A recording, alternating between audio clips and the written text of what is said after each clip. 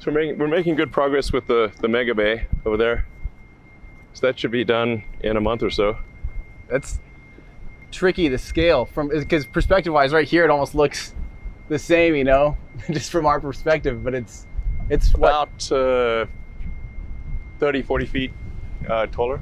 Okay. So it's it's more about uh, uh, just uh, you know in this case uh, girth is more important than length uh, because we, we just need we need to be able to uh, construct more ships and boosters.